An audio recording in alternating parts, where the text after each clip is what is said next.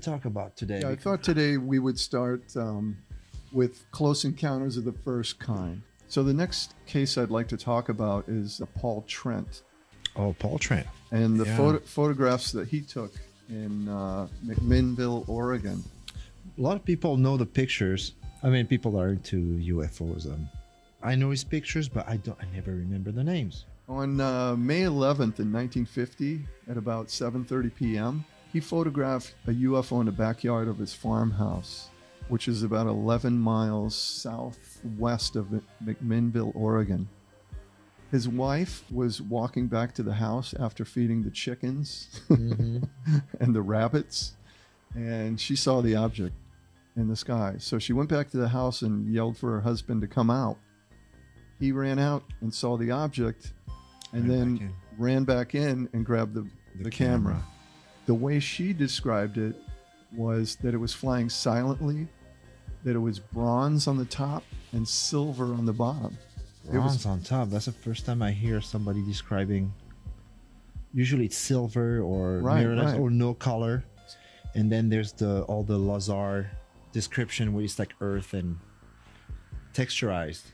so so or this bronze. Like, yeah, she yeah this jewelry. particular one was was two tone Oh, and uh, duotone. and she said it was about the size of a very large parachute parachute. like a like a you know like a World War II oh, the uh, size, the size. yeah not the size of the okay, of okay. the All object right, right, right. was about the size of a very large like a World War II parachute Right. okay like a silk parachute For So, the like- young ones that are watching us, like you know, think Call of Duty. right but But but, the- but the 1950s version World War II Yeah. Like I said, he ran back to the house and he grabbed his camera, which was a um, Universal Roamer camera. Oh, See, there's his camera right there, and he's posing here in this picture for Life magazine, because this was a very, very famous case. So he said when he ran back outside that the object was moving away, and he quickly uh, snapped two photographs. Two photos. and he said it was on the left of the garage and to the right of the bottom of the mountain range off in the distance. I don't know. I've never been to their house. Well, I have a map here Oh, if you you, want to see. yeah. Uh, he he was running to keep it in uh, in frame. So he took the first photo, okay. and then as it was moving away, he didn't want to lose sight of it, so he ran a short distance and took the second photo. Oh, for the focus. and he got a different angle of the object. So I'm going to show you what the object. This is what he first saw. Right? Okay. So here's their Pretty clear too. here's their. Uh, It's really sharp for Right. the. so this is the side of the garage here. This is a. I don't know if it's a water tank. Yeah, I'm it not looks really like a sure. water tank. It might be the oil tank too. or Whatever. It could be an oil tank, Yeah. but I, I have a feeling it was a water tank. Um, you see the mountain range off in the background, and the object right here, right? Mhm. So this is the first angle he took the picture from. Then he took the second photo. Like I said, he ran a little bit forward, Oh, I see. and he took the second. And and this photo shows it on a horizontal plane. Like the other the other photograph was it was the object was higher, and it was tilted on an angle.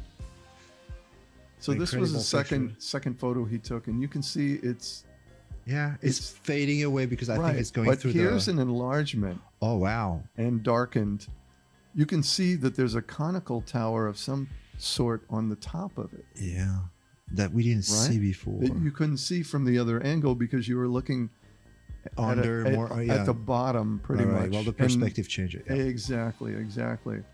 So this was an enlargement of that particular photo, and it was darkened a little bit so you can see the object better. He took two photographs. All right, and these photos were were analyzed by Project Blue Book. Oh, they were. They were. Yes, they were. Oh yeah, because they went back to all those old uh, cases and right. They, They yeah, they looked right. at all We the original last, uh, evidence last time. Yeah. um, before they started collecting anything. Yeah. They they went back and took a look at uh, some of the very good cases that had been unexplained. These particular photos have been scrutinized over the years by many uh, researchers. Let me ask you something. If you if you know, you know, Project Blue Book, they worked on those cases, blah blah blah. Do those people that took those pictures submitted their negatives, or just the photos from it? Is there neg? I I mean, ultimate question is, do we still have negatives of those? Well, Uh, his negatives his negatives were taken by the Air Force. Okay, so they do. But I read an article where it says years later his negatives were returned. Whether Oh. whether they had been retouched or not is another story altogether. Oh, yeah, true. But he did receive them back, but it was several years later. Yeah. So they kept the negatives for a while. But these two photos were analyzed uh, quite extensively by a lot of researchers, and they still remain um, Some of the best ones. some of the best Yeah, ones. I mean, the- some the of the best ones ever taken. the quality I see Even from even that time, exactly from that camera, from point and shoot, going out, taking the camera quickly, right? It's really good. I mean, of course, you have the grain of the film at the time. You, you know, you didn't, But they, didn't have color. they've done or- analysis did, on but these, um, computer analysis on these to see if there's any wires, you know, Right, that they're right. suspending from a wire, or, or if you know they were objects, small objects thrown Right, by if it was a someone and then fake. photographed. Right. So they've been under scrutiny um, under those particular um, conditions Yeah. and they determined that There neither was one of them were yeah. the case. Interestingly, a third photo Showed up. showed up, Dun, dun, dun, dun, dun. dun, dun, which shows it from a different angle. This third photo shows the object from a different angle, tilted so that you can see the entire bottom. top. This oh, is that's the top. top. This is the entire top of the object. So this third photo showed up, but originally there were only two. So in this third photo, I want you to take a look at this bush. That bush that wasn't there before, no, the bush was there. was it? However, okay, this is the first Oh. photograph that was taken. You mean You see the bush? right? It's been so the it came back a different time. It either came back or they're fake. It either came back or they're Or fake. fake. Because as you can see in this photograph here, The bush where is they, where they completely nude. right. This is photograph three up here. This is photograph one, and you can see that the bush is pretty much Right. bare in photograph one and two. But and in three, pretty- it's in full bloom. And then there's a photograph here of, of their child of their son Right. standing on a, a ladder, and you can see the bush in the background is fully in bloom. So there's some controversy there that that puts into question the veracity of these photographs. Well, when I look at picture three, it looks so much clearer than the other ones. I think That- that you know what I mean? It looks like almost well, I think too pretty. this particular photo may have been uh, processed in a you know Yeah, oh, somebody no, no, for processed sure. on a It- it- computer it or something been like that. This is I- not this is not the original. right. No, because I can tell, uh, you know, it's black and white. Obviously, I can tell the the compression in the clouds. Right. I Right. can, you know, the different colors. you can see that they that they've darkened it and and you can almost kind of see some color in here which means they you but know what bothers me in this picture, you see how crisp the water tank is. yeah Look at those vines behind. They're starting to be a bit blurry. these Yeah, on the right, on the right, the little these Yeah, this is like almost, and to me, just at first sight, it looks like the the UFO is sharper than those when it should be a bit blurrier than those bush. Yeah, those These plants. Yeah, these bushes actually look more in focus than that yeah. But I it looks- tell. I mean, you know what I'm saying? It would The- be to, to me can- this object looks like it's in between this bush and those bushes like somewhere in the middle right when he shoots, Right? This really looks further let's back look at the because this is far back. I mean, yeah well this is a bad photo here it almost well, looks like a that- xerox Yeah, or something overexposure. right doesn't it look like a xerox to you Yeah, well, this. so you can see why it's Yeah. you know, it's a controversial photo. You know, when originally you those said wires, there were yeah, only those wires were still in there. Those right? wires were yeah, there. Okay. those wires were there. Okay, so that hasn't changed. So the possibility is they're suspended from the wire. There's wires in the background here too. See? Yeah, I see all that. See well, that's one? one thing that bothers me too on the first pictures. You, uh, this one. Oh, this one. This is the enlargement. Yeah. So you have you have the line. You have the scratches on the negative. right. It could be fishing line.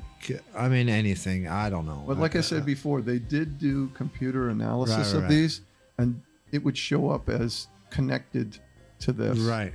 But another um, computer analysis that was done, um, I don't know what it's called, but it shows that based on the the light, like they can change the color of the light on the, on the photograph, Okay. And they can determine it's a three dimensional object and how Oh. far away and how large it is because based on the light reflecting off of every other object like this, Well, off the roof, Yeah. you know, off of the other things, the the oh, direction, Oh, the mean the direction of the sunlight, Yes, yes, yes. The know, the direction. direction of the light on Right.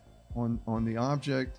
They can tell that, Right. that it was a three dimensional object, and they can estimate the size and distance based on those measurements. But I thought we'd talk about this case because That's You know, it- interesting. yeah, there's some controversy. yeah, there's some controversy. Um, even though you know it's w- one of the best cases, there's no physical proof Right. except a photograph, and like we all know, you can fake a photograph. Yeah. So this is a map of their farm. It's actually an old aerial photograph that's been superimposed slapped on over a Google Earth, um, so that you can kind of get an idea of what the surrounding uh, area is like. This is their farm right here, and I'm not sure, but I think the photo was taken this direction. Now, something very interesting. Oh, wow. Oh. Something very interesting. The Paul Trent photo, the second one that was taken that shows the UFO from a horizontal plane. I'm going to tell you something you don't know about. A minute. Okay. Go All ahead. right. I'll let you finish. There, there's some sort of tower um, in the photograph Mhm. on on the top of the UFO, Right. and there was actually another case in France that um, Can you say that name? uh, Rouen. No. It's no? okay. Say it. Rouen. Rouen, France. And you want to know? That's where I was born. okay. Normandy. Now Rouen, everyone Normandy. knows. Right. So there was a um, a gun camera photo taken from uh, the French Air Force. What what do you call a gun camera? Some uh placed on a on a plane like like a It's- gun. It's Right. gun. It a, points to where the gun is going to shoot, oh, okay, gotcha. Okay. All right. and they generally take pictures of what they're going to shoot down. hey, look, we got Yeah, that. look, we got the yeah. proof. So as you can see in the, in this side by side comparison, they're not identical, No, but they're very but similar. they're very similar in shape. This happened in March Wow. of 1954. There's a controversy about the date because it's listed twice. It's listed as March 1954 and also as March 1957, and no one knows for sure what the actual date is. And also, if you or someone you know has some evidence, stories, evidence, photographs, uh, hard evidence, right, we're willing to uh, hear what you have to say and what you might have to show. right, right, right. Uh, and I think that's pretty much it. Thank you very right. much, and Thank and you. check back and see our next episode, And you know, we're doing this stupid Don't thing. forget to Don't subscribe. forget to subscribe, please. please. and leave Yeah. leave a comment. Yeah, leave a nice comment. Thank a you. nice one.